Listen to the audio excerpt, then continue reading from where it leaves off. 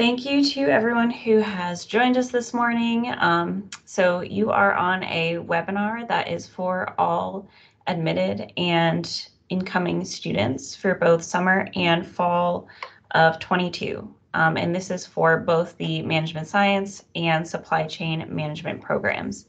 So we have, um, honestly, the presentation today isn't too long. I have some really important things you should know about registration and just figuring out your course schedule. But I think we are going to allow a good bit of time for Q&A at the end. Um, you will all be receiving this PowerPoint at the end of today's presentation. Um, so if you don't have time to take notes on anything, that is totally fine because you will get this PowerPoint afterwards. So I'll start with introducing myself. Um, I've probably talked to many of you, but my name is Michelle. I am the academic support coordinator for both of our master's programs, and I am also joined by Dr. Widdifield today. Um, if you'd like to introduce yourself. Sure. Good morning, everybody. Sorry about not being on camera. I'm very sick today, and I'm not going to be saying a whole lot, but yeah. Uh, my name is Dr. David Widdifield. I'm the program director for the Masters of Science Supply Chain Management program and uh, the assistant dean for master's programs here at at Jindal. So glad to see everybody on here, and uh, really hoping I feel much better tomorrow. But uh, thank you guys for joining Michelle and I. This is very important because it's really going to help you guys navigate how to enroll in the courses, get the, the sections and the professors and times that you guys need. So uh, thank you for joining us. Yeah, and just to confirm, can you all see the PowerPoint that I have up? Okay, thanks, Emily. all right, so let's get started. So who should you talk to? Um, I first want to start off by differentiating between myself and Dr. Widdifield and the JSOM Graduate Advising Department because those often get confused.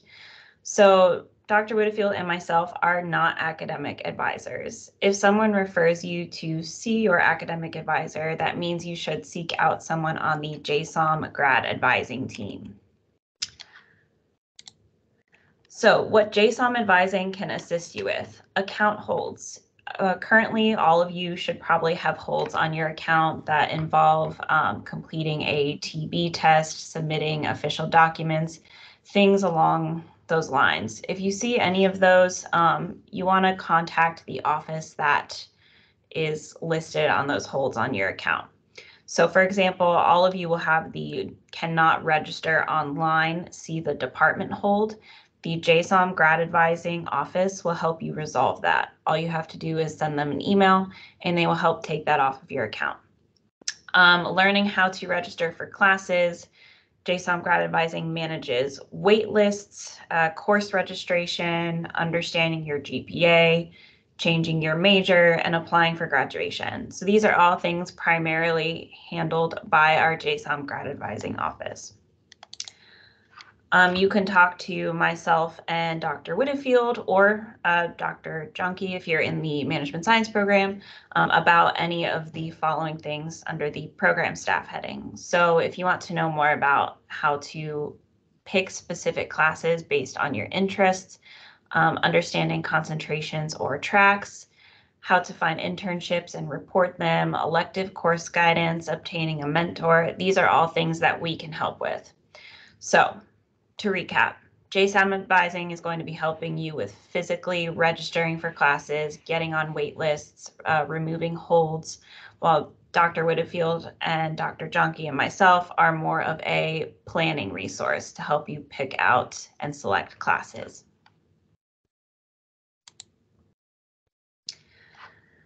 So I want to bring up Coursebook. As new students, you might not know what Coursebook is. I would say it's incredibly important that you all become very familiar with Coursebook. So what this is, is the online schedule. Um, if you go to this web link we have here, you will see the online schedules for both summer and fall. Um, so summer schedule came out last week. The fall schedule should be up there now. I believe it went live this morning. So when you look at coursebook, you can filter um, which semester you want to look at. So it might default to, I think, summer or fall, whichever is the closest upcoming semester. So when you go through there, you'll want to select the appropriate semester you will be registering for. Now I want to go over the course modalities. There are two main types of course modalities you will be looking at when you see courses on Coursebook. So you're looking at traditional and online. A traditional class is exactly how it sounds. You have a classroom and a meeting time. You go there every single week. The online courses are indicated by an OW1 in the section number. And as you'll see in the picture I have here, it will say no meeting room because it is a totally online course. So with the online courses, there's no meeting room and no class time. Those take place entirely on the e-learning platform. So you're required on your own time to complete the assignments that your instructor assigns to you. I need you all to pay attention to the kinds of classes you are registering for. This might seem relatively straightforward. However, I have gotten emails plenty of times a few days before the semester starts of students telling me, when am I getting a meeting room for my class? Not realizing they have signed up for an online only course. If you are a F1 international student, this is incredibly important that you pay attention to this because on an F1 student visa, you are required to take a certain number of hours in a face-to-face format. So please pay attention to the time of classes you're registering for. I need everyone to mute themselves to make sure you are muted, please. Okay, thank you. Okay, so please pay attention to the kinds of classes you are registering for. This is also especially important if you are a online only student. Um, if you're an online only student, you cannot be registering for traditional in-person classes if you are three hours away in Houston, for example, or it's probably further than that. But so you want to be only registering for OW1s if you're in the online program. Um, you want to avoid OW1s if you are not supposed to be or do not want to be taking online classes. Are there any questions about that right now? Okay, I'm sure we'll get to some at the end. Okay, so the next couple slides are about physically registering. Um, so all of this information, I'd like to let you know I pulled from either the registrar or the JSOM grad advising office. As we mentioned, they are responsible for helping you physically register for your classes.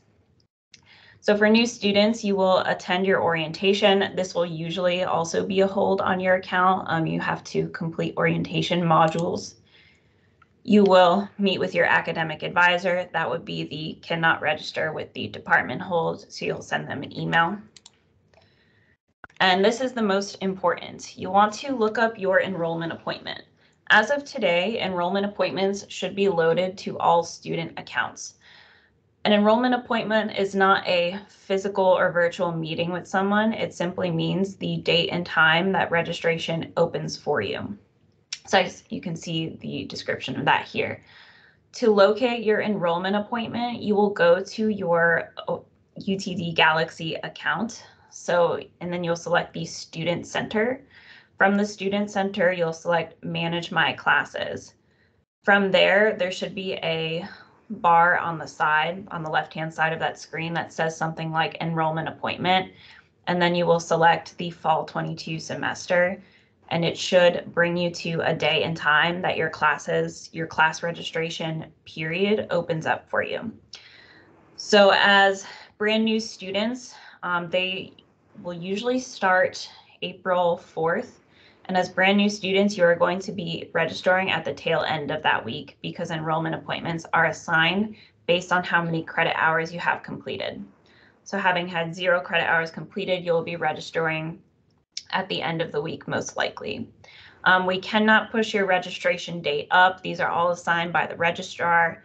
If you have concerns about that, you will need to contact the registrar directly.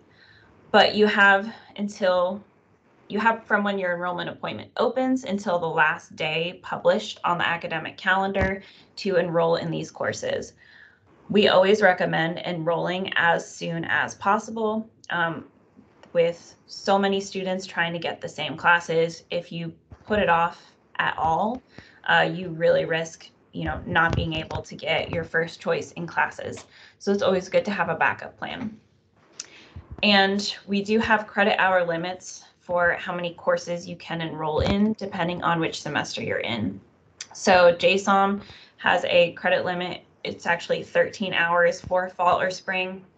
Um, it's that odd number because many of you will probably be taking like four classes and your one credit prerequisite. So you have about four classes you can take in the fall or spring and three classes you can take in the summer. So any of you who are enrolling in summer, because that's your entry semester, um, know you can only take a maximum of three courses.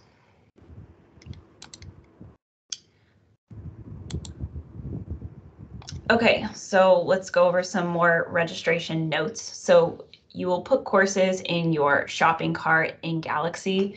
Um, there's actually a how-to video of how to physically add these courses to your cart out on the JSOM grad advising webpage. So there are how-to videos out there, but just putting something in your shopping cart does not mean you are finished. Um, so once you see a green check mark during your enrollment process, that means you have been successfully enrolled in the course you were looking for. There's different functions within the registration module, but you can swap classes. Um, so if you want to change a certain class out for another one, there's a swap feature you can do for that.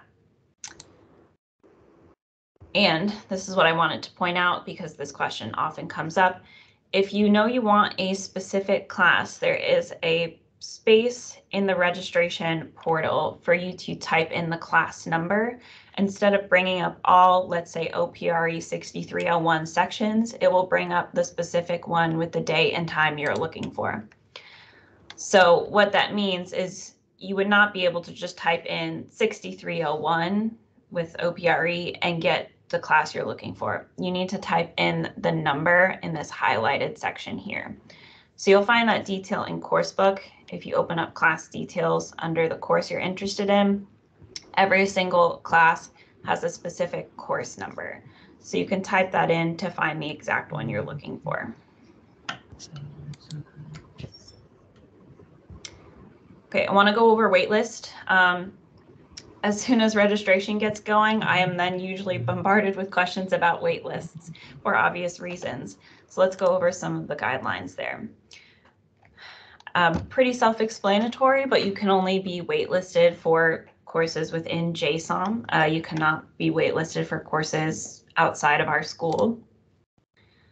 Your Galaxy account, if you're trying to register for a course, it will show you that it has a waitlist by a yellow triangle.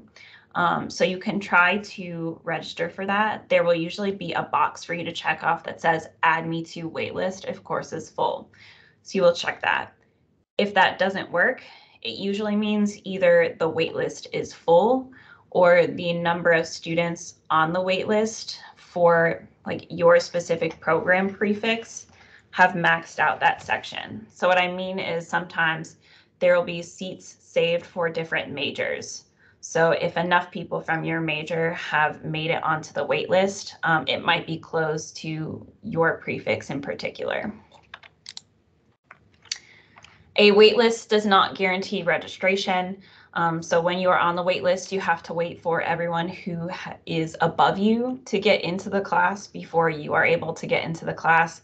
And that happens when either course capacities are raised or people who were in the class decide to drop it.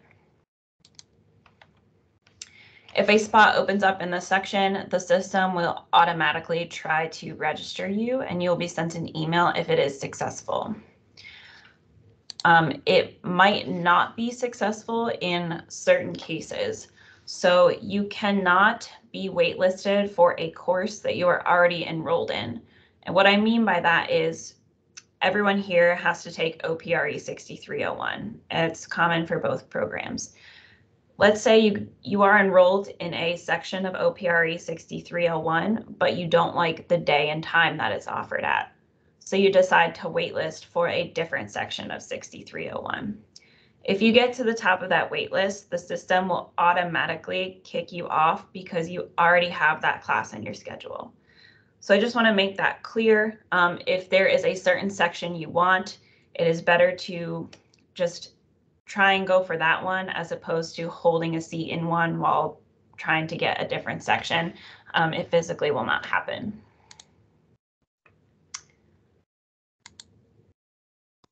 Okay, and course late waitlists are available until the date indicated on the academic calendar, which is usually about two days before the semester starts. So if you do not get off the waitlist before the semester starts, you're not going to be in that class. All right, that was the bulk of how to get registered and kind of get things going. Now I want to show you both your suggested first semester schedules for management science and supply chain management. Um, keep in mind, these schedules are built based on that 12 credit hour maximum. So if you are joining in the summer, you will probably be looking for two, one, two, or three of these courses, not the full list. So for management science, you will all take the MAS 6102 professional development course. This is a one credit hour prerequisite, and it should be taken in the first semester unless it is waived. Um, there are certain circumstances in which you can have this course waived. Some of those would be um, several years of US based work experience. If you have done a US based internship before, there is more information on that available, and if anyone is interested, I can get that to you. Management Science, you also recommended to take OPRE 6301, Statistics and Data Analysis in the first semester. Please pay attention to this note I have here, which is or OPRE 6359. 6359 is the advanced version of stats, so it's more or less the same class, but on a higher difficulty level. There is a um, classes later on in the management science degree. If you choose to take those to satisfy your core requirements, um, some of those require advanced stats.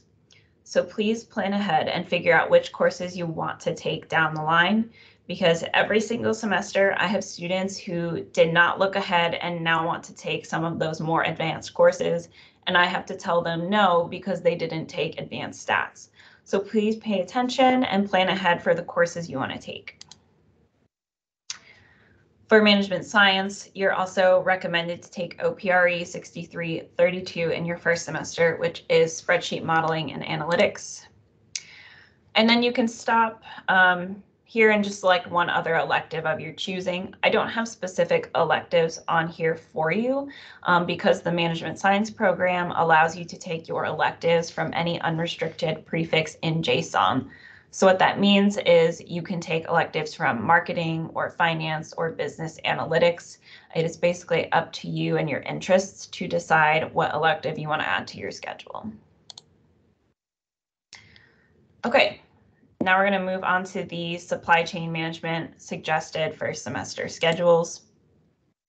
The same thing as management science, you are recommended to take MAS 6102, OPRE 6301, and again, the same note here, if you're going to be interested in taking some advanced analytics courses later on down the line, then you should probably look into taking 6359 instead of basic stats and data analysis.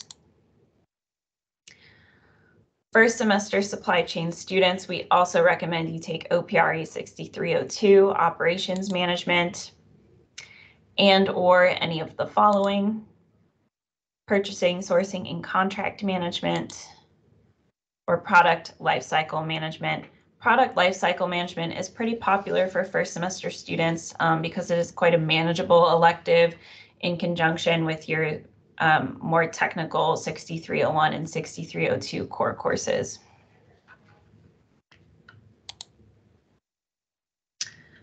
Okay, I want to take a few minutes and just address my students who are coming in in summer of 22. There's some things you should know, which is you're planning for both summer and fall at the same time.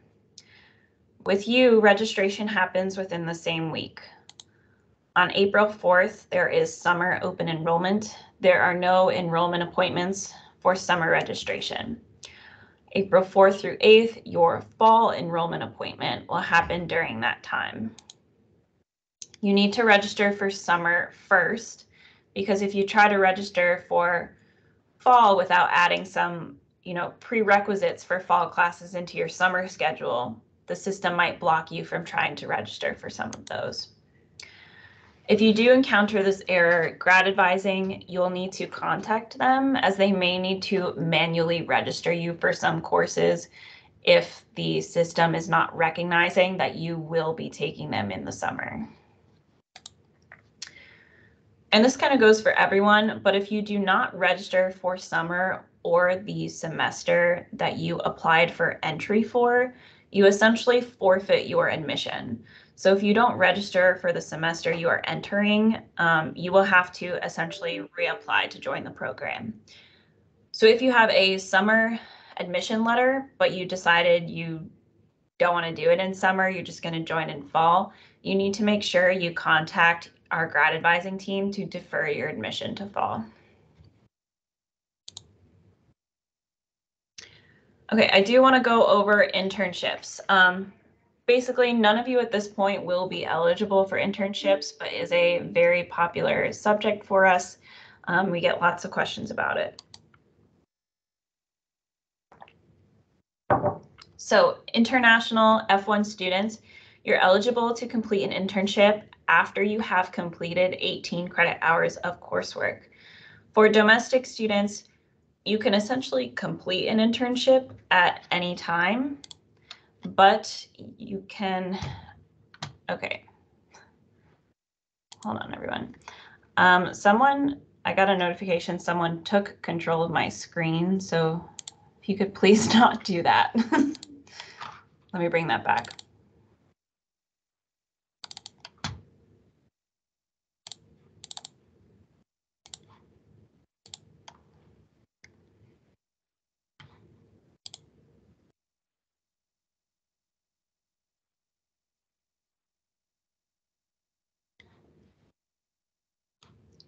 Everyone can see that again?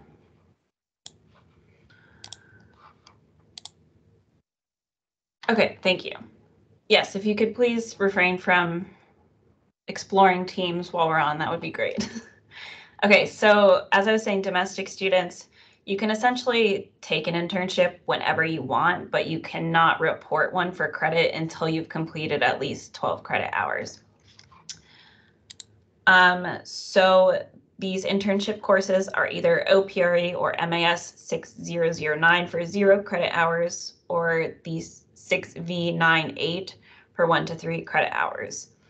Um, this is especially important for international students. Essentially, what you need to know is that you could take up to four internships while you're in the program. So you'll have four opportunities for curricular practical training. You do that um, by you would report your first internship for zero credit hours, and then you could take up to three more for one credit hour each. Basically, you are allowed a maximum of three credit hours of internship over the lifetime of the program. So we tend to recommend students start out with reporting their first internship as zero credit hours, as this leaves the door open for you to pursue further internships after that. Um, if you're an international student and you report your first internship for three credit hours, you've maxed out that credit hour limit and you cannot take internships after that point. So to help you get ready for all of these internship opportunities, um, many students in their first semester do attend resume sessions, career fairs, the JSOM CMC has many opportunities for you to connect with employer, employers. Um, so those are things to look into. But I, again, just want to make it very clear that as soon as you're in your first semester does not mean you can start looking for internships. So please do not, you know, go interviewing with employers where you know you cannot accept jobs from them. Um, and do not accept jobs and then ask us to bend the rules for you um, because we're really bound by the immigration laws and the university um, does have to adhere to those. And if you're interested in the meantime to see what the students in our programs are doing on their internships, you can put either of the hashtags on the screen into LinkedIn and you'll see the internship stories that they submit as part of their internship courses.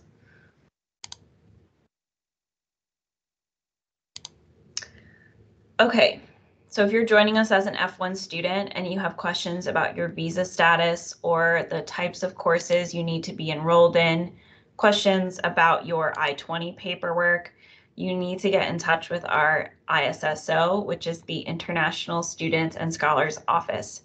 Um, Dr. Widdifield, Dr. Junkie, and myself, we honestly are not very knowledgeable on the immigration paperwork. Um, so if you have these questions, please get in touch with your immigration advisor. You can send them a message in your iComet portal that can sometimes be faster than emailing them. And again, we cannot advise you on I-20 paperwork or make the process go faster for you. Current processing times for I-20s, as stated on the ISSO website, is about 14 business days. Um, so just to clarify, 14 business days does not include Saturdays and Sundays. So if you say you requested it a week ago, in reality, you requested it five days ago. So just to keep those in mind. And ISSO actually has a whole guide on their website on how to apply for your I-20. So if you do have questions about that, I think that resource is very helpful. Okay, I think we are, I'm on my second to last slide. So as I promised, this wouldn't be too long. I think we'll have about 20, 25 minutes for Q&A. Reminders, I want you all to have a backup plan for classes. Every single semester, I am contacted by students who are suddenly stressed because they did not get their very first choice for classes. It is always a good idea to have a backup plan. If you're a first semester student, there's a good chance you will not get your first choices, especially if you put off registering and do not register at the time your enrollment appointment opens. Um, a few of the things I'm about to say might seem a little straightforward, but I say them because they have happened before. Please do not make requests to us, such as adding more classes or getting you off a wait list. And I specify these in particular because they're not simple requests and students tend to think they are. Um, adding more classes is actually quite time consuming. We have to find professors, classroom space, coordinate with other days and times in the schedule. So that's just not something that's really possible. And also getting you off a wait list. The only way we can get you off a wait list, like immediately, would be to bump you ahead of everyone else on the wait list. Um, and that will not be happening either. As I mentioned earlier, the ways you get off a wait list are class capacities are increased or the people above you slowly filter into the class. Hey, Michelle, if I can make a real quick point about that, I, I also want to mention the wait list. Um, that is completely managed by JSOM Grad Advising. Uh, it's done in a sequential manner, but I will say, particularly since we have new students and returning students, if there's any concern from a graduation standpoint, they're going to take that into consideration as well on how they manage those wait lists. Um, but yeah, we we don't manage it, and we can't really uh, do anything about those wait lists. We we we're under the same requirements as you guys. Yeah, and that goes great with the next point, which is if you need help physically registering or getting onto a wait list, again, this is handled by advising. So you will want to email them if you, for some reason, like think you should be able to get on a wait list if it says open and Galaxy and everything, but you physically can't get on it, they will help you with that. Um, this is a big one. During registration periods, please allow at least 48 hours before sending another message. Um, as you can probably guess, all offices across the campus are usually inundated with student concerns and messages at this point in time. So it will take us a little bit longer than usual just to get back to you. It is best if you only send your message to the office that it concerns, as this will probably cut down on response time and confusion. Um, so for example, if I'm copied on an email that's meant for ISSO, I'm personally not going to respond to that because I physically cannot help with any ISSO related processes. Um, but some other people, if you copy multiple offices, might respond, which kind of muddies up the trail of messages and makes things a little confusing.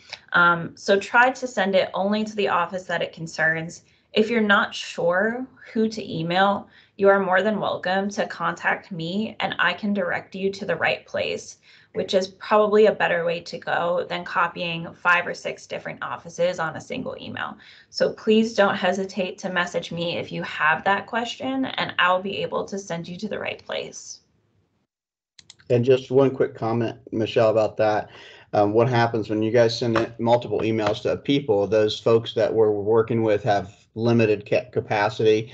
Um, when you have five people sending them different emails on the exact same subject, it takes their time away as well. The other point I want to make about the reminders is that, uh, especially for students who are coming into the program for the first time, if you are looking to have course transfers from previous educational programs in there, please work with grad advising to get those. Uh, we call those substitutions uh, or transfers get those done as you're enrolling. Uh, what happens is you may wait until you actually get in a course or you get enrolled into a course back to the waitlist scenario only to say well maybe i've taken this course and i can i can substitute one of my previously taken courses please make sure that you're discussing that with the grad advising folks as you're starting to enroll um, they're going to help guide you on that. Um, just as Michelle said, we go through a process on each one of those types of requests. It typically takes, on average, uh, about 10 uh, business days or, or two working weeks to get those approved. And we want to get those done um, as fast as possible because we know you guys are trying to get into classes. But that was the only uh, other reminder I wanted to make, Michelle. Yeah, thank you. Okay, my last slide. Is not pulling up. Hold on. Okay. So if you have a concern or a question, we do ask that you email the respective program inbox. So for supply chain, you will be contacting scm at utdallas.edu. If you have a question and you are in the management science program, you will contact msc at utdallas.edu. I do ask that you don't email us directly during this time because it is harder for me to keep track of which program you are in that way if I just get it directly to my email and not the program inbox. Um, because my advice will change depending on which program you're in. So sometimes this is my fault for not looking it up, but students will email directly and I think I know which program they're in. So I tell them something completely wrong because they're actually in like management science, but I thought they were in supply chain. So please just email the um, program inboxes. It helps me figure out how I'm going to like respond to you that way. We will be monitoring these inboxes during this time, usually more frequently than my personal email. So honestly, I'll probably respond to you faster if you email one of these. And I think that was my last bit of the spiel. So I think the Q&A might be um, a lot since we have many people on this call. So what I'd like to do is you can either put them in the chat or if you have a Q&A, we would ask that you use the raise your hand feature um, so we can call on you all. Okay, well, I'm going to just go ahead and start with the few I see in the chat here. Um, so someone says, when are we eligible to start registering for our classes? So as I mentioned earlier, you need to go locate your enrollment appointment. Um, I'm assuming you're probably joining for fall. So to find your enrollment appointment, you want to log into your Galaxy account you go to the um, student center and manage your classes and then there will be a sidebar where you can find it says enrollment appointment. And then you'll select fall 22 and on the next page it'll tell you the day and time that you're able to register. So i can't actually tell you when you can register. You have to look it up yourself in your galaxy account Um, can you tell us about co-ops? So internships or co-ops, you're able to do those. UTD does not offer co-ops, but students who receive co-ops, we will approve those um, as the internship. Did you have anything else additional to add about that, David?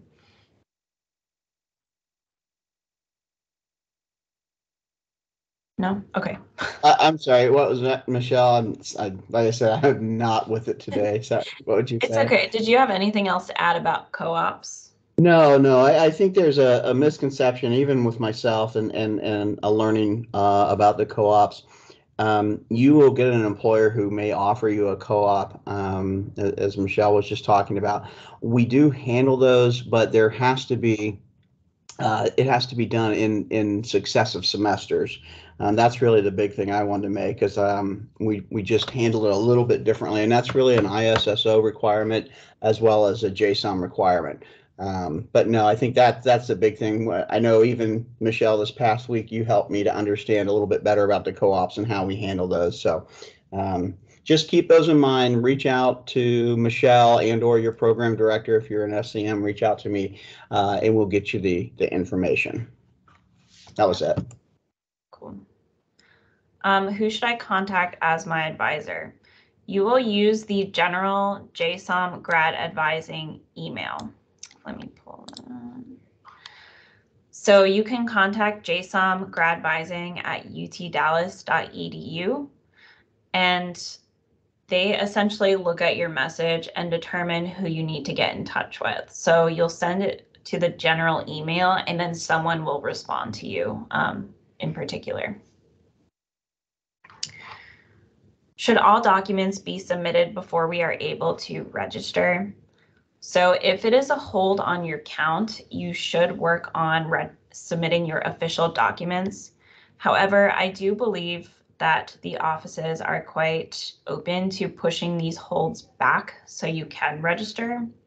So if you do have this hold, you can email the office that it's coming from. So when you go into your account and open up a hold, it'll usually populate an email address for you to contact about that hold.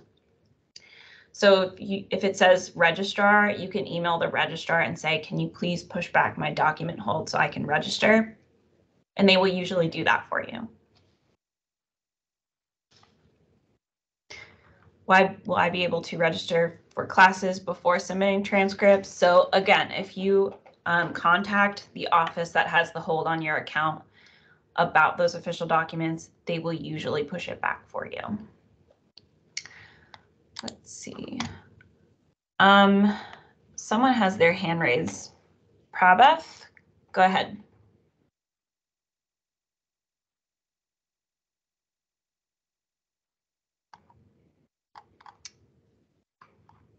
Okay, did you not have a question? All right. Let me know if you did. Okay, what about TA and RA opportunities? Um, so I did not include those in this presentation because as first semester students, you are not eligible. You need to have at least completed one semester, have a UTD GPA of about like 3.8 or above, um, and have received an A in a class that's similar to the one you would be assisting in. So essentially, um, if you're interested in those, you can simply like Google UTD assistantships or like JSOM assistantships, and there's actually a whole page out there on our website about that. But I didn't really cover it here because you won't be eligible for a little while for those. Regarding advising, I'm not able to book a date with my advisor. So that is quite common right now considering the schedule just went live. Um, that is why we recommend emailing them directly. If you can't book a date with them, conversing with them over email will be faster for you at this point. I see that I have a hold for a TB test. I contacted the health center and they said that until you get a negative test, um, they cannot clear it. That's correct. I am not, sorry.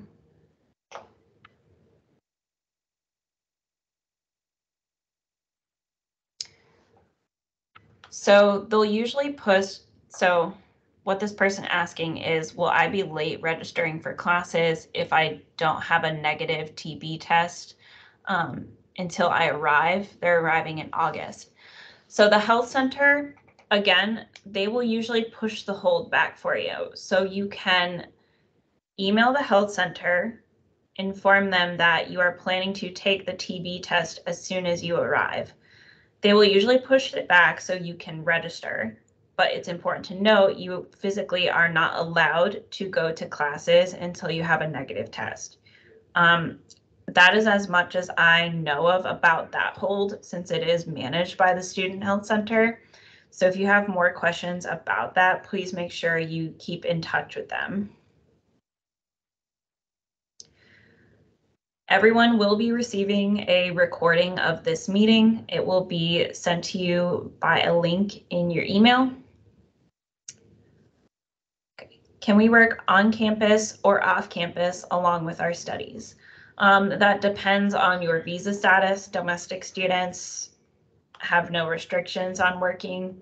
If you're an international student, you are usually eligible for on-campus employment during your first semester. I'm unfamiliar about being eligible for off-campus employment. I don't think you're able to, but you would want to confirm that with a immigration advisor. Does the semester credit limit apply to MS MBA students as well? I do not think so. I think the MBA program has their own credit limits that they follow um, because with the MBA program, you just naturally have to take more classes than if you were in the MS degree. So you will want to follow up with your MBA advisor to see what your credit limit is for fall, spring, and summer semesters. This Dr. Widdifield dropped the assistantship webpage in there for you to review. Will there be an in-person orientation session for the MS SCM program before the fall semester begins? Um, or is it only the online modules you mentioned earlier? So the online modules are linked to like usually a hold on your account, but we do mm-hmm. have in-person orientation for both summer and fall. Um, now, I guess that depends on whether you're domestic or international.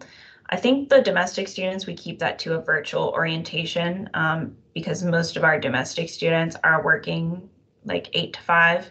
Um, and so then they hop on our orientation at around 6 p.m. in the evening. If you are an F1, I believe we are transitioning to doing those in person. Did I get that right, David?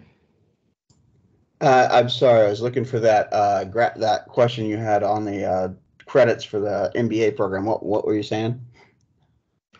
Our domestic students orientation is virtual, and the F1 yeah we're transitioning to having those in person. Yeah, the the the plan at this point right now is to continue with uh, with exactly what you said. We'll have our our international uh, student orientation uh, being in person um, at UTD, and then the domestic students will be uh, virtual right now. The senior associate dean, uh, Monica Powell, at that's the plan she has for the fall. Um, doesn't mean that if you're a domestic and you want to attend a, a, an in-person orientation, you're certainly more than welcome to do that. Um, you just need to let us know, uh, as well as the graduate advising team know that you would like to attend uh, an in-person um, uh, orientation versus the virtual. But yeah, that's, that's those are how they're going to work. Thanks. How can we apply for on-campus jobs? Um, so the on-campus jobs are available through the Office of Student Employment and Dr. Widdifield is doing all the links right now, so I'm sure that will pop up here in a minute. Um, but you would have to go through the Office of Student Employment to essentially see what's available and apply for a job. Hi, I have been offered a scholarship, but it asks to opt for dual degree to take the benefit does it mean if I go ahead with only single degree program, then I will not be provided with the scholarship? So I've learned a little bit more about the scholarship in my last year or so. So you do have to enroll in the dual degree to accept the scholarship, but after a certain period of time, you can drop the MBA part um, and you'll still maintain your scholarship. So um, that's as far as I know about that. You will probably want to follow up with our JSOM grad advising office because they help you essentially get your enrollment right to accept the scholarship. So I would recommend either following up with them or directly with the scholarship committee who offered you the scholarship. So please get in touch with them for more clarification on that. Can we take extra credit courses above 36? So as you mentioned, the total for your degree is 36 credit hours. If you take any beyond that, um, that is up to you. But you may have to be applying as like a non-degree seeking student to a certain program, depending on what kinds of courses you're looking to take. Um, so essentially, yes, you can take those, but you know, you will have to pay for them. Um, you know, it, it doesn't become free as soon as you finish 36 credit hours, so you will have to pay for extra classes if you want to take them. I also want to add a point here, Michelle. If you're an international student, once you've completed your degree program of 36 credit hours, you cannot enroll in any additional courses. Um, ISSO and DHS requirements are going to have you uh, graduate from that program. So for international students, uh, no, there's there's not a possibility to take uh, over 36 credit hours unless you decide that you're going to do the dual program of both both the MBA and the MS degree. Um, so what I just put in the chat is the academic calendar for fall 22 because someone asked when will our classes start. So everyone, regardless of what semester you are entering would be doing me a great favor if you just saved this academic calendar to your desktop or somewhere that's easily accessible because it has every single date you need on it. So it has when the classes begin, um, when the last day for registering is, when wait lists close. It has, if you're going to drop a class, it has the date on there by like what time you need to drop a class to not be financially responsible for it. It has the payment deadlines for the bursar's office. So if you ever have a question about a date, it was going to be on the fall academic calendar. Can I create a Handshake account using my UTD email to search for on-campus employment opportunities? So you should already have a Handshake account if you have a UTD email account. Um, you shouldn't have to create one. So you usually just log in with the same credentials that you use to log into your email. So you should not have to create one. Um, it's already going to be there for you.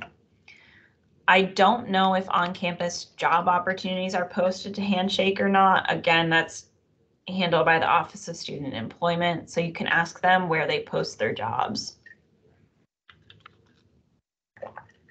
So, Michelle, just because I've had some experience with the student jobs, um, they are getting posted to Handshake. Uh, we in the dean's office have had some opportunities for student workers. Um, we post those out there, and that website that I dropped in there will help you guys see where these listings are. But yes, they will be also included in the Handshake um, application as well.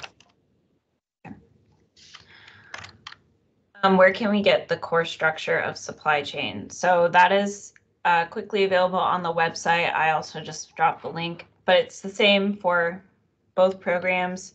Um, you can, for management science and supply chain, you can easily go to the program website. There's a curriculum tab, and then under the curriculum tab, you select view degree plan, and it shows you all of the core requirements um, and elective requirements for your degree.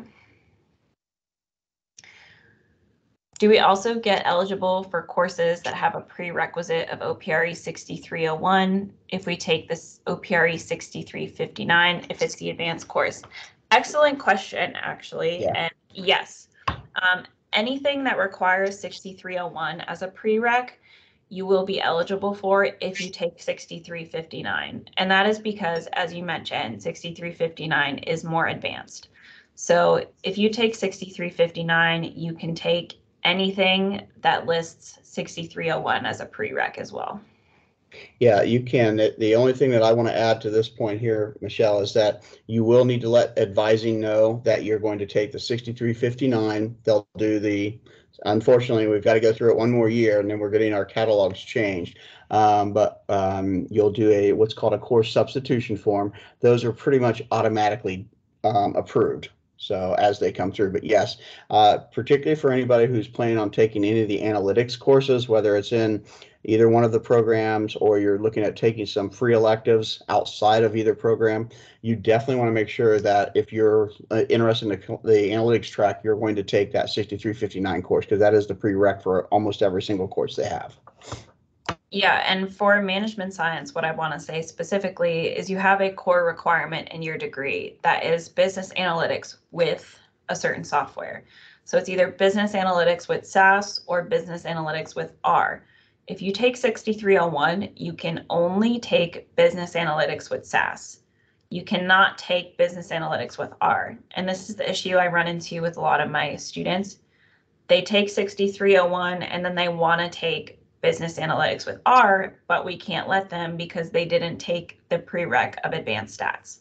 So if you think you're interested in taking business analytics with R, please make sure you take 6359, the advanced stats course.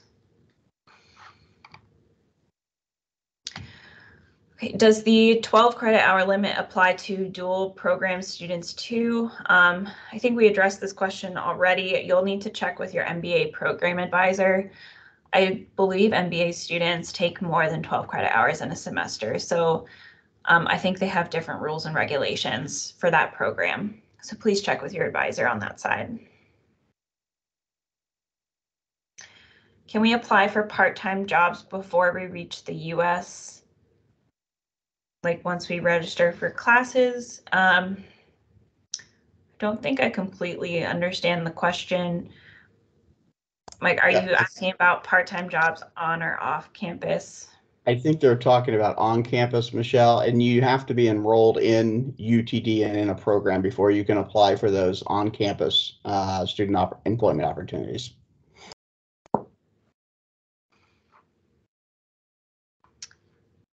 Okay.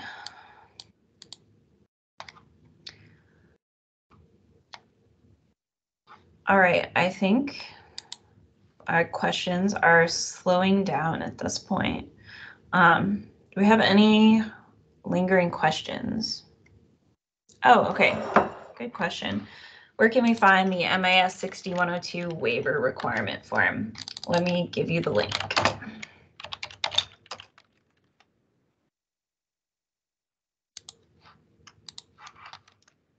right, so it actually is a online form that you will fill out, but there are certain um, criteria for you to be able to waive MAS 6102.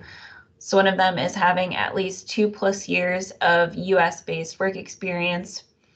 Um, you completed a internship for academic credit that was in the US. You are a UTD alumni that completed um, a business communication or professional development course, or you are a UTD full-time MBA cohort student. So if you fall under any of those, you can waive MAS 6102. Oh, another good question. Can you please explain the minimum GPA requirement? What should we aim for to keep our GPA up? So JSOM has a minimum GPA requirement of 3.0. If you fall below 3.0, um, you will be placed on academic probation. However, this should not be cause for panic because you can essentially be on academic probation for three semesters before you are dismissed from the program. So the first semester, your GPA is below 3.0 would be considered semester one, since your whole semester was under 3.0. And if it is not above a 3.0 by the end of semester three, you would then be dismissed.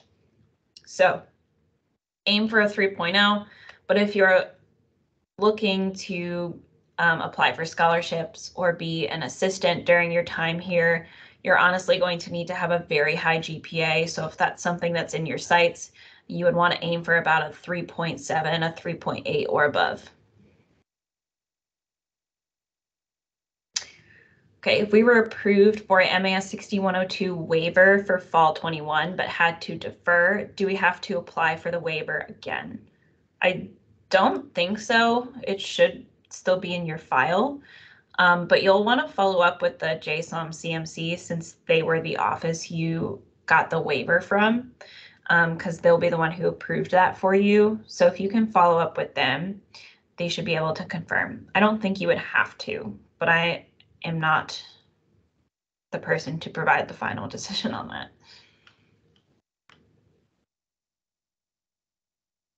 Does applying for Dean's Excellence Scholarship automatically make you an applicant for other JSOM grad scholarships? No.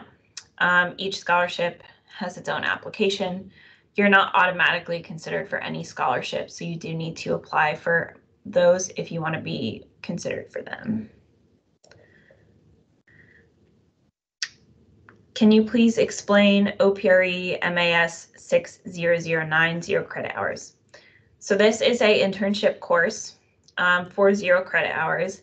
What those zero credit hours means is that you essentially don't pay any tuition fees for a zero credit hour course. However, it does still fulfill your internship requirement um, because you are completing an internship. We recommend zero credit hours because it does not add any credit hours towards your max allowable internship total. So if you want to pursue more internships after completing a zero credit hour course, you are able to do that. Um, we have someone who has their hand up. If I can inter- just interrupt real quick, I just found the policy for JSOM on all graduate programs and dropped the website into the chat. For the question on the MBA programs, uh, JSOM only allows 19 credit hours for fall and spring and then 15 for summer, and that is across all graduate programs. So uh, they, they have the web link to that now. Yes, uh, let's see. Nisha, go ahead. Um, yeah, I just had a small question about the hold. Uh, so if if I have like right now I have a hold for my transcripts and my uh, official documents to be sent.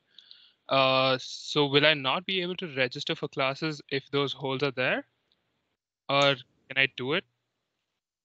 So they might be there, but if you email the office that's requiring of that from you to like ask them to push it back, it'll Okay. still show up, but internally, like they will have removed what blocks you from registering. Does that make sense?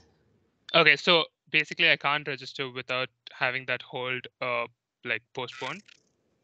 Yeah, so sometimes they automatically do it, but if you get an error and you just email them saying like, can you please push this back so I can register?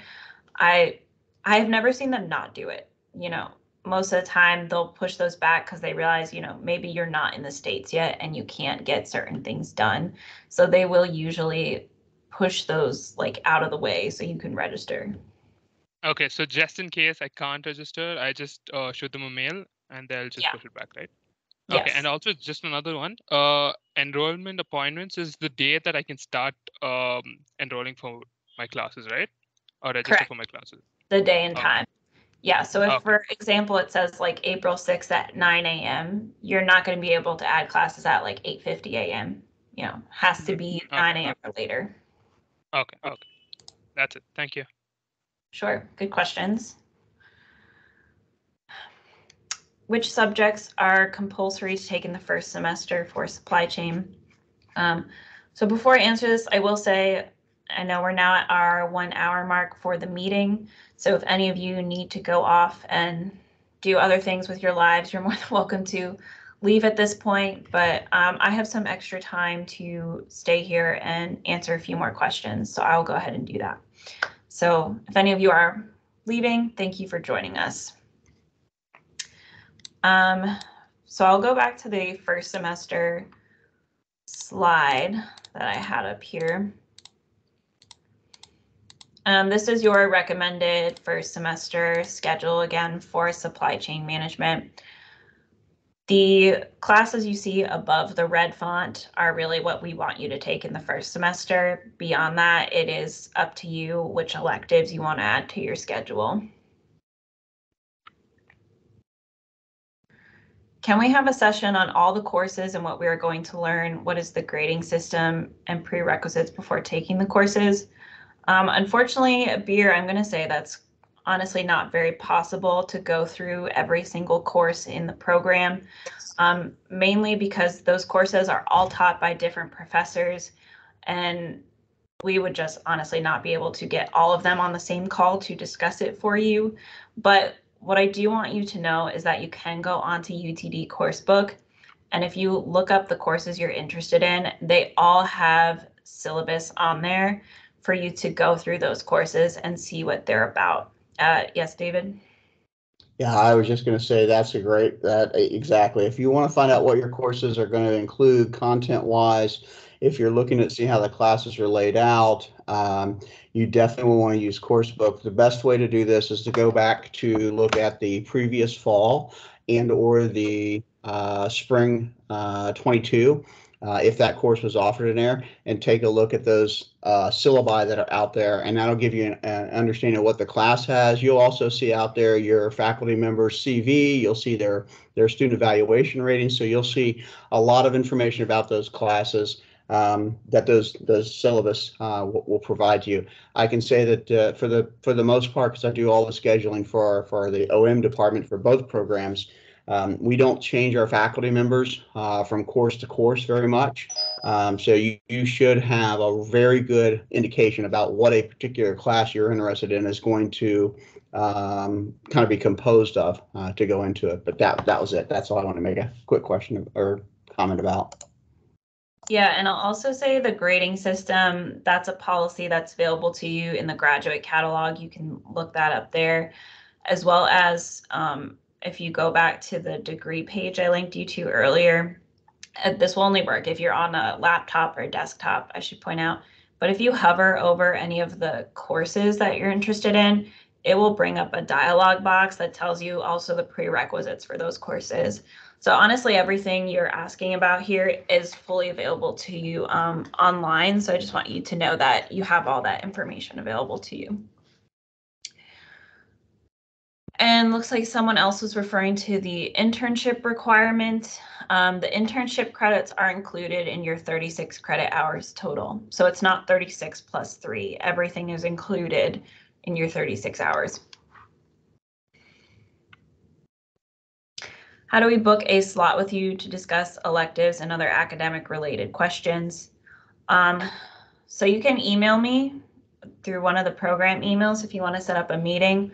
I will say I do make all my students send me their questions beforehand because sometimes it's not something I can answer. Um, so you can email me with your questions and if it's something that advising is going to handle, you know, I'll let you know if you need to talk to advising or if I'll be able to help you. What is the time that we need to spend for the internship during the entire duration to get to gain credits? So y'all are very interested in the internship, despite no one being eligible to do one soon. Um, the internship, you have to work a minimum of 80 credit hours per credit hour of approval. So if you want at minimum to be approved, you'll need to demonstrate you're working at least 80 hours over the course of the semester. And if you want a full three credit approval, you'll need to work at least 240 or more. Usually this is honestly no problem because our students are often offered three or four month internships that work 40 hours a week.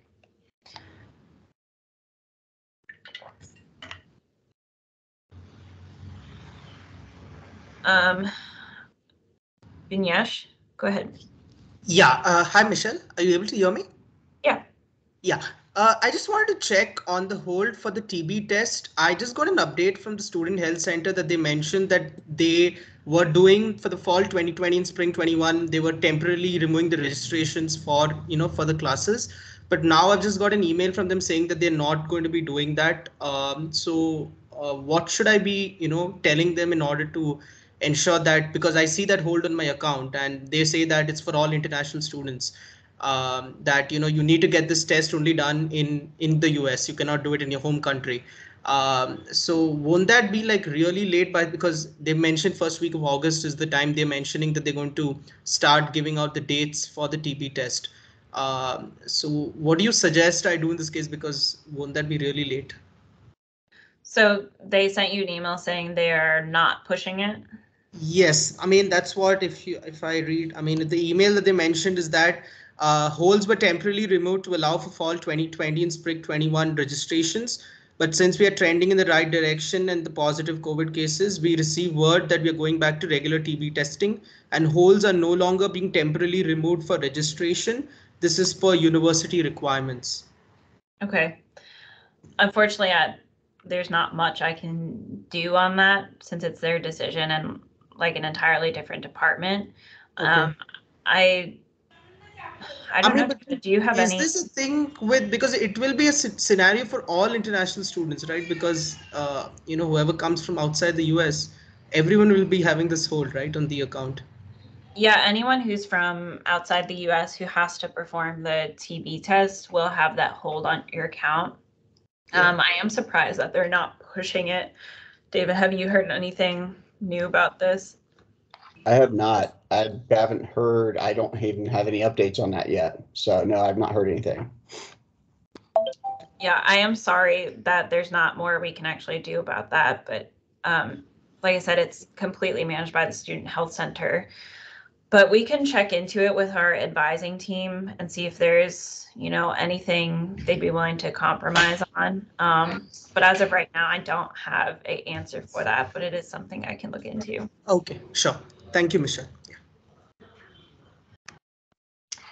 Um, I saw another hand. Dharmanath? I'm really sorry if I can't say any of these names correctly. Hello, Michelle. Am I audible to you? Yeah, go ahead. What's your question? Yeah, Michelle, uh, I just want to know where do we need to do that TB test? Means actually in our home country or after coming to the US in the month of August? Because it's not possible to do uh, in back in our home country because they are saying that you have to do that test after coming to US. So, uh, how to do that? Means I don't know exactly about it. Yeah, you do have to do it in the US. Um, and I think Dr. Widdifield dropped a link in here I earlier. was just saying that I dropped in the, the TB screening processes for UTD out on the chat. So it is out there. It talks about when do you schedule it, what happens from a hold. So it has all the information as well as uh, a listing of contacts uh, in case you have questions to contact the, uh, the, the UTD student health uh, team for additional questions. Yeah, the only thing I can say is if the health center is choosing to not push these holds back, um, then honestly, many of our students are in the same situation where there actually probably will be a lot of classes left by the time you register if all international students um, have these holds on their account until about the same time. Um, you might actually still see a lot of seats open until you're able to get that test because many of our students are majority uh, or programs are majority international. So what is the difference between MAS 6102 and 6105? I was told I needed to take 6105. Um, if you're told you're taking 6105, that usually means you're in the MBA program. So you would take 6105 instead of 6102. They're basically very similar courses, but 6105 is just used for the MBA program.